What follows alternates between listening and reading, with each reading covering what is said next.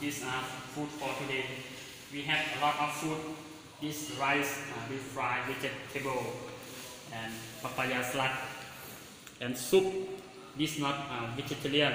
This uh, uh, meat, and we can choose fruit, uh, dessert, or many many things. Oh, it is today is very expensive. expensive. So, oh, okay. Thank you for uh, watching this video.